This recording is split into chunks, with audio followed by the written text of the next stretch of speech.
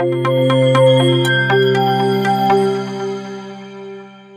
भारत और Afghanistan T twenty series का पहला मुकाबला 11 जनवरी को मोहाली में खेला गया इस मैच को टीम इंडिया ने शिवम दुबे के शानदार ऑलराउंड प्रदर्शन के दम पर छह विकेट से जीता। अब दूसरा मैच 14 जनवरी, यानी रविवार को इंदौर में खेला जाना है। इस मैच में टीम इंडिया की प्लेइंग इलेवन में कई बदलाव देखने को मिल सकते हैं। ऐसे में दूसरे टी के लिए टीम इंडिया की संभावित प्लेइंग इलेवन पर आई एक नज़र डालते हैं। दरअसल दूसरे टी में टीम इंडिया की प्लेइंग इलेवन विराट कोहली की वापसी उसमें तय बताई जा रही है। विराट टी विश्व कप 2022 के बाद पहली बार इस फॉर्मेट में खेलेंगे। वहीं पहले मैच में इंजुरी की वजह से वो नहीं खेल पाए थे जो खिलाड़ी जिसका चर्चा काफ़ी जोरों से थी, वो यशस्वी जायसवाल थे। उनकी भी प्लेइंग इलेवन में वापसी तय मानी जा रही है। तिलक वर्मा और शुभमन गिल को बाहर का रास्ता दिखाया जा सकता है। इनका प्रदर्शन भी साधारण रहा अन्य बल्लेबाजों में कप्तान रोहित शर्मा, रिंकू सिंह विकेट कीपर जीतेश शर्मा दिख सकते हैं। वहीं पहले मैच में शिवम दुबे का गेंद और बल्ले से अच्छा प्रदर्शन रहा था और वो इंदौर वाले मैच में भी टीम इंडिया की प्लेइंग इलेवन में होंगे। उनके साथ अक्षर पटेल भी होंगे। अक्षर को पहले मैच में बल्लेबाजी का मौका नहीं मिला था, लेकिन गेंदबाजी उन्होंने अच्छी की थी और चार ओवर में तेईस रन देकर दो विकेट झटके थे। सुंदर काफ़ी महँगे रहे थे और वो प्लेइंग इलेवन से बाहर हो सकते हैं। दूसरे टी में कप्तान रोहित शर्मा, टीम इंडिया की प्लेइंग इलेवन से स्पिनर रवि बिश्नोई को भी बाहर कर सकते हैं। बिश्नोई ने पहले मैच में तीन ओवर में 35 रन लुटाने के बाद एक भी विकेट नहीं लिया था। उनकी जगह कुलदीप यादव को मौका दिया जा सकता है। वहीं वॉशिंगटन सुंदर की जगह आवेश खान को मौका मिल सकता है। अर्शदीप और मुकेश कुमार की जगह बरकरार रह सकती है। यानी अगर संभावित प्लेइंग इलेवन की बात की जाए तो रोहित शर्मा, यशस्वी जायसवाल पारी की शुरुआत करेंगे। वहीं विराट कोहली नंबर तीन पर खेलते नज़र आएँगे। चार नंबर पर जीतेश शर्मा, पाँच नंबर पर शिवम दुबे, छह नंबर पर रिंकू सिंह, सात नंबर पर अक्षर पटेल, आठ नंबर पर कुलदीप यादव, नौ नंबर पर अर्शदीप सिंह,